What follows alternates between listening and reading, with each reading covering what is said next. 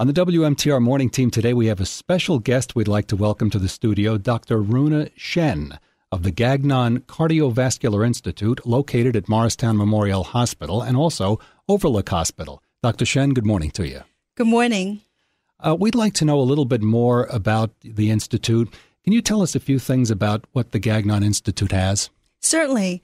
The Gagnon Cardiovascular Institute is the largest heart and vascular hospital in New Jersey. It's a brand new facility that just opened in January of this year.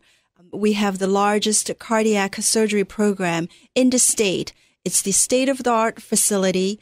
We have a whole team of specialists, including cardiologists, interventional cardiologists, electrophysiologists, and uh, cardiovascular surgeons.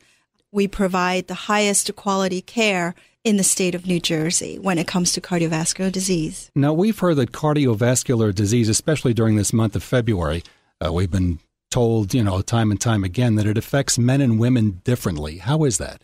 Well, women tends to present differently.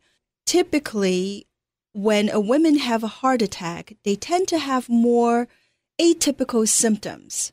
You must have heard that when someone has a heart attack, the first sign may be chest pain or chest discomfort. Right. While most women can have that, some women may experience heart attack very differently. They may have more jaw pain, neck pain. They may have more nausea, vomiting. In some instances, no chest pain at all. Um, they may have arm discomfort. They may have shortness of breath and no chest pain. Mm.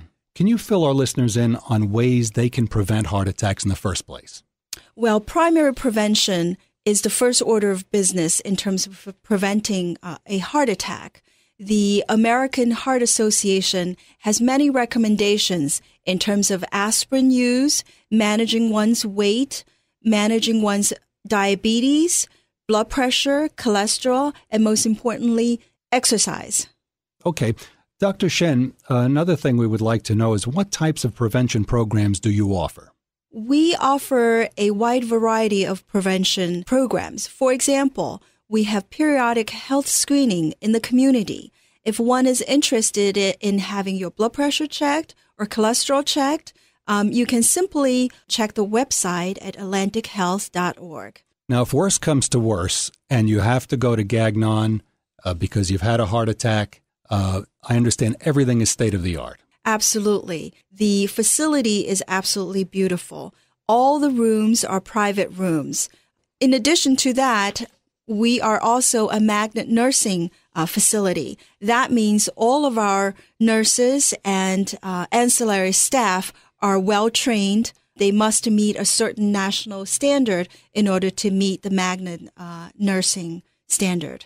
Well, Dr. Rhuna Shen, thank you so much for spending some time with us this morning on the morning team. We appreciate it. Thank you. And for further information on any of this, go to atlantichealth.org. That's atlantichealth.org.